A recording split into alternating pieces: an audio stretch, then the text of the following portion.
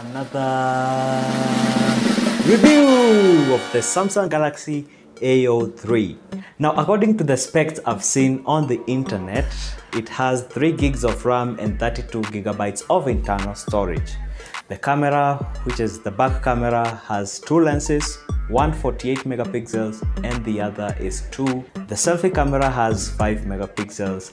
But since that is not all, we are actually going to check what's inside the box and see the real specs.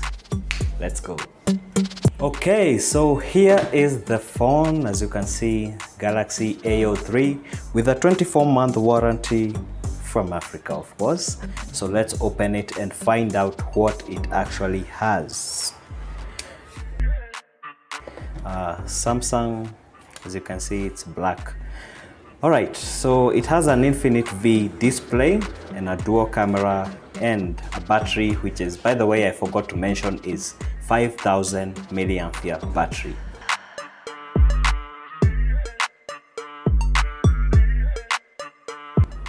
Yeah, so far the one I have is black.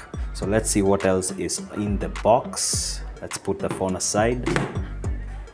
In here we have the, I guess the instruction manual. Yeah, this is the instruction manual that comes with every device you've ever seen on earth. It has a micro USB 2.0 charger, as you can see. Uh, this is the plug.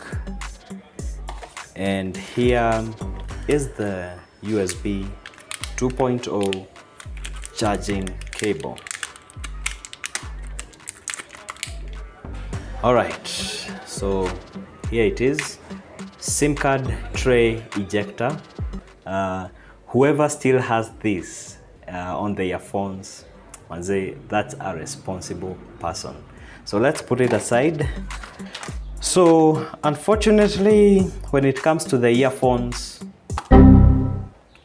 yeah. So the phone itself is, it's kind of, according to the weight, it's kind of a bit heavier than I thought it would be. And it doesn't have the external cover. Again, that's something I forgot to mention. It doesn't have an external cover. But even without the external cover, it's a, quite a heavy phone.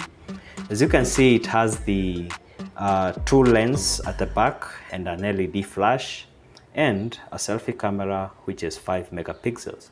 So let's start it and see what it has. Welcome screen as usual.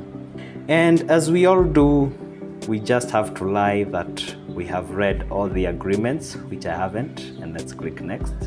Copy apps and data, uh, which lets you transfer uh, data from your previous old phone. Download a smart switch. So they say a smart switch brings your phone data from your old phone. Oh, yeah. Let's move on. Okay, I won't put this in for now.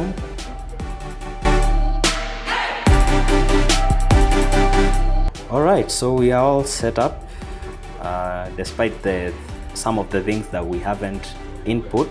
I have to say the resolution of this phone is quite amazing.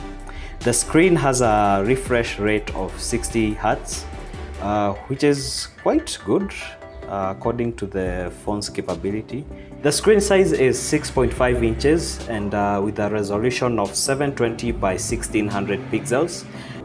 Alright, now when it comes to the RAM and the storage of this phone, I've got to say it's quite amazing and yeah, I would say it's something that cannot just hang unless maybe you overload it with too much games. Uh, as you can see with today's games and other applications, technology keeps on improving. So you have to keep on improving your device as well in order to run the apps smoothly. And the phone itself comes with the usual Google apps, that is the Google uh, search, the Chrome application for browsing, the Gmail, YouTube, and uh, the Google Maps as well. And also it comes with the Facebook app, Play Store app, wow, OneDrive, I never expected that, but anyway.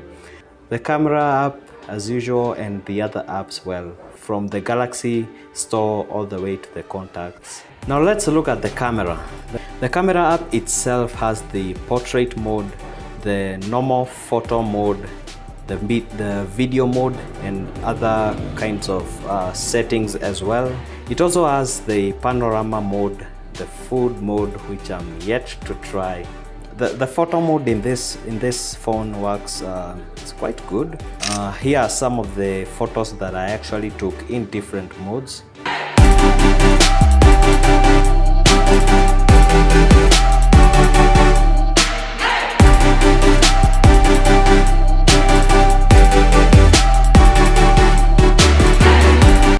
So the camera itself is able to capture a video with uh, 30 frames per second and at a resolution of, um, of 1080 pixels.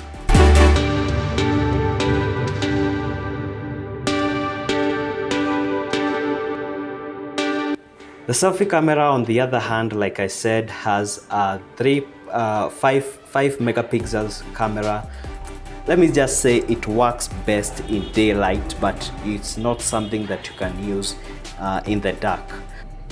Now when it comes to the audio it has a loudspeaker at the bottom and as you can see here is the charging port and it also has a 3.5 uh, audio jack which you can use to connect your normal earphones and headphones as well. So the phone itself also has other features like digital well-being and parental controls which uh, mostly enable you, as the word well-being says, uh, they mostly help you manage your life.